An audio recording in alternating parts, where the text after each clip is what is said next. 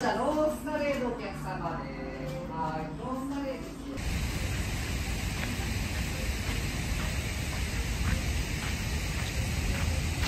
こんにちは。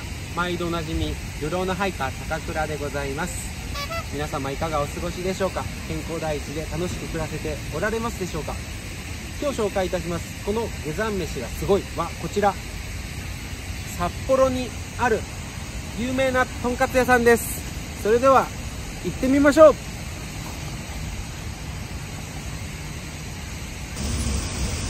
日常高倉。県散歩 in 北海道札幌編。ということで今日私は札幌に来ました。北海道の登山重走を終えて今こちらとんかつ屋さんに向かってます。いろいろと見聞きしまして情報を収集してるんですけれども、まあ、どこがいいかなと思ってあんまり遠くには行きたくないのと人混みが苦手なので、うん、近場で考えたらここがいいんじゃないかなっていうところがとんかつ青木です。行ってみたいと思います。ちなみにここはですね大通りになっておりましてこの噴水があったりとか街でカラオケしてる人がいたりですとかいろいろと文化面でも一番こう札幌の中で札幌の中で自然と都会とかこう混じり合っていい感じになっているところなんじゃないかなと思います。結構緑も多くてですねこう花が綺麗になってます。なのでいざという時はこういうところが天場として使われるのかななんてことを思いながら散策しています、まあ自分がもし札幌近郊に住むとしたら確かにこの辺によく来ることになりなるんじゃないかななんてそんなことを思いますね。それでは早速とんかつ屋さんにレッツゴーなんとなく街の作りが博多に似てるなーなんていうことを感じてます。真っ平らで。高い建物もそれほどなく、まあ、それなりに高い建物あるんですけれども街の作り方が都会だなって感じますね。北海道の中で最も発展したエリアなんじゃないかななんて思いますけれども今日僕の舌を震わせてくれるとんかつの味はどんなとんかつなんでしょうか？楽しみです。ちなみにお役立ち情報としてはこの辺りで山の民がガス管買うとしたらモンベル赤レンガテラス店が大きいんじゃないかなと思います。おそらく道内で一番大きいモンベルになると思いますね。こんな感じでモンベルのクマもレインウェア着てました。はい。はいあれがとんかつ青木です。楽しみですね。はい。着きました。とんかつ青木。レッツゴー。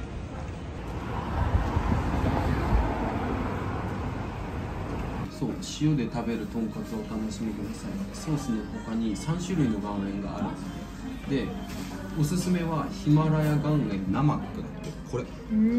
すごくない？なんか、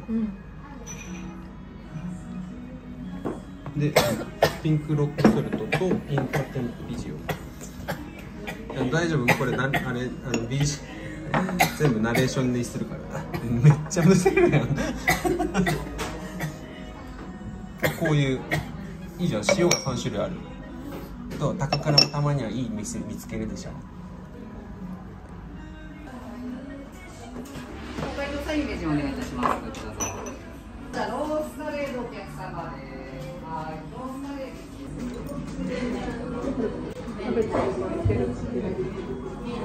ヒレカツカレーのお客様。はいただきます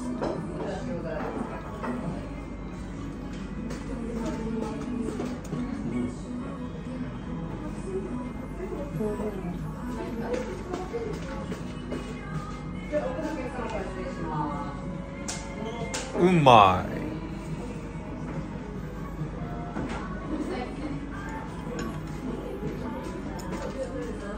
味聞こえる？うん、やば。っ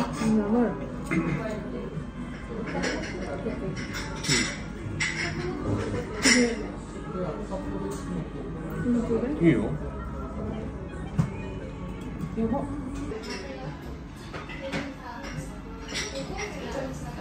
とっても美味しいです。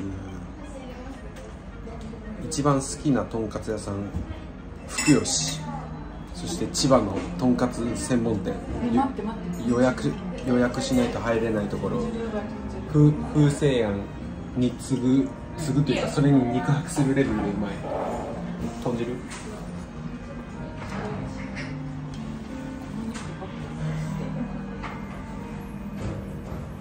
頑張ったからね。これで疲労疲労回復して仕事頑張ろう。共共働きなので頑張ります。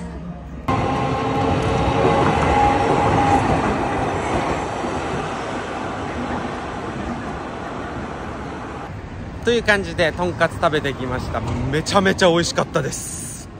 ここはこの下山飯がすごい。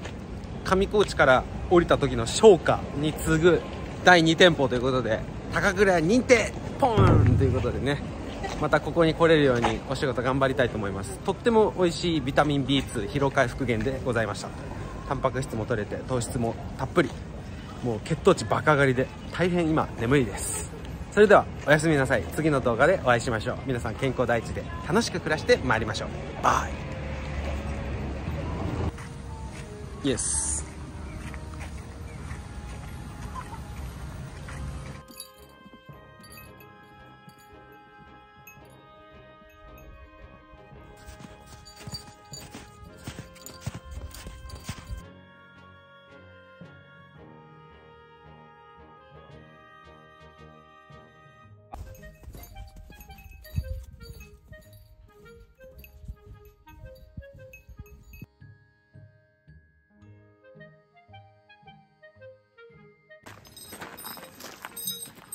待ってます。こんにちは。毎度おなじみルローのハイカー高倉でございます。本日私はさすらっているのはどこでしょうか？はい。これ読めた人は日本。これに気づいた人はすごい頭いいですね。今尾瀬にいます。尾瀬ナショナルパーク国立公園。すでにここ標高1591メートルあります。実は私初めての尾瀬でございます初めての大勢初めてのミラーレス一眼ということで今回はこちらの OM システム OM5 で尾瀬の美しい自然を激写していきたいと思います。この音聞いてください。この音。いきますよ音。あーいい。自分みたいなビギナーでもくのいちの様子を激写できています。という感じで美しい尾瀬の自然を激写していきたいと思います、まあ、手ぶれ補正がね良かったりとかアウトドアにも使いやすいっていうモデルで楽しめるんじゃないかなと思ってます。レンズの保護キャップをちゃんとしてここをちゃんと向けるっていうね。でオフと。それではレッツゴー!